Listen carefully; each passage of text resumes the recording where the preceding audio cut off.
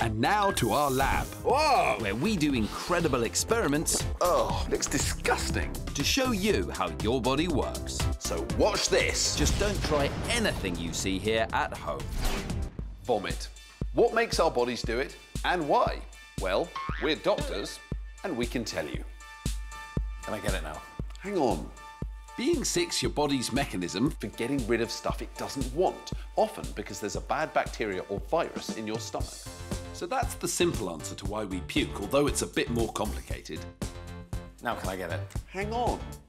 But what's vomit actually made of?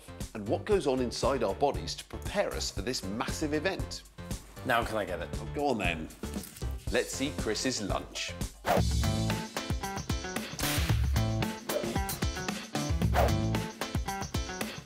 This is my sick. Oh, Chris, that's awful. Don't worry, I'm not ill. There is still food in there. That's because when you're sick from your stomach, it's not choosy. You bring up everything to try and get rid of that bad bacteria or virus.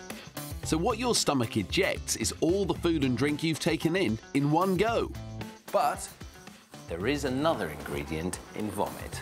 Now, Xander, I want you to close your eyes and imagine you're in a really posh Italian restaurant. Now, don't you think my vomit smells a bit like cheese? And that's because when food is broken down in your stomach, it makes butyric acid. The acid is produced by bacteria as it eats away at your food, and the same bacterial process occurs as cheese ages. Which is why older cheeses like Parmesan smell a little bit like vomit. Just as well Chris hadn't been eating parmesan, or his vomit would smell much worse. Enough already. Now, I've got something even better than a tub of my own vomit. Apart from it being really unpleasant when you're sick, there are real dangers of your vomit spreading a virus. And it can lead to an epidemic, just like the winter vomiting bug, norovirus. But how can vomit spread viruses? This is Larry. He's a robot, but he's not just any old robot, he's a vomiting robot. Larry's been specially designed to show us how the virus can spread to other people when we vomit. So, I've given Larry a big drink, and he's gonna vomit into this container. If he's ill, shouldn't he just stick to dry toast or something? Xand. Ready to puke in three, two, one.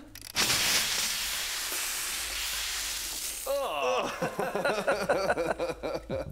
that was really powerful. It's amazing. That might look like a much more powerful puke than a human would do, but in fact, there are things like norovirus that do make you projectile vomit. It's lucky we had such a big container. I think we've caught it all. Well, we can check that, Xand, because I put a fluorescent dye in the liquid that I made Larry drink. Do you think that's what made him sick? Hmm. No, I think turning the knob made him sick. He's a robot, Xand. So, I'm going to go and turn on the ultraviolet lights and we'll see if any of the splashes of vomit escaped. So there's loads in the container. You can see it really well. You look outside the container, see how much there is here. Yeah, there's loads. And then over here where I am, there's even more. These are big, big drops. Some of them are more than two meters away from Larry. Look, Xand, it's even on you. Oh, yeah. It's all over me. It's just amazing how much mess he's made. Well, this is exactly why Larry was invented, to show just how far drops of vomit can spread. And remember, each one of these splashes has enough virus in it to make you seriously ill. So remember, if you're being sick yourself or you're looking after someone who's sick, it's really important to wash the whole area really carefully and wash your hands with soap and water to stop spreading the virus on. But it's not all bad news. Vomiting can sometimes be your way of getting rid of things that are harmful. This never would have happened if we'd just given him dry toast.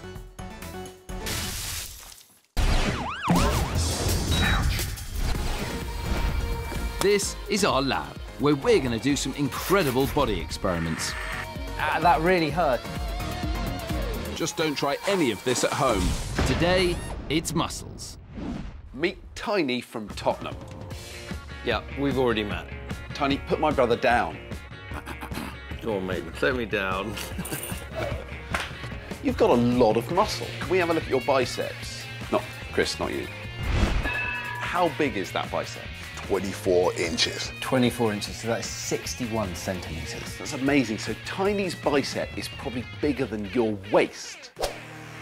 Tiny's muscles are big and very, very strong. But what are they made of? Well, your muscles are made up of fibers formed from millions of individual cells, and blood vessels deliver the energy that your muscles need in order to move. Now, a single muscle fibre on its own isn't very strong, but when you gather a bunch of them together, they become much more powerful.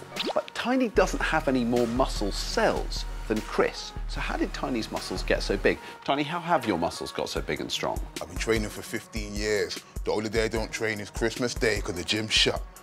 I don't train on Christmas Day. Right, so when Tiny goes to the gym and lifts weights, what happens is the heavy weight causes small tears in the muscle fibers, and that stimulates his body to build those fibers back bigger and stronger than before. That's how his muscles got so big and strong. Tiny, it's been an absolute pleasure. Thank you so much for coming in today. Ah, Chris, never be cheeky to a man called Tiny. So, how do our muscles actually work? Your brain controls your muscles by sending a small electrical charge down a nerve to the muscle. That tells the muscle to move. But what happens when we take control away from the brain and stimulate the muscle directly with these electrodes? I'm attaching electricity conducting pads to Chris's arms. When I press these buttons, electrical charges are sent directly to his muscles, which will make his arms move. See? That was me. Now let's see how many beakers Chris can down while I try to override his brain and control his muscles. Okay, Chris, 15 glasses, 30 seconds. Now remember, I'm in control. You've got to drink as much as you can. Right, you ready? No problem. Go.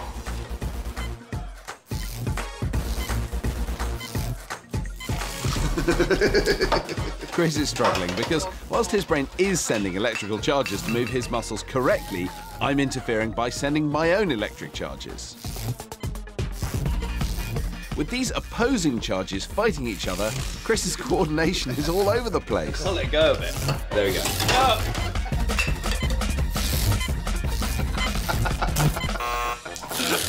you can't, you can't, you cannot let go. No, just put it down. Just No, I got it. Yeah, you, you, you, I'm pretty well, only two left. So we've shown that you can override the brain using these electrodes, but not very successfully. The brain is really important for coordination of muscles. You did really well, Chris. Cheers. Cheers. Oh,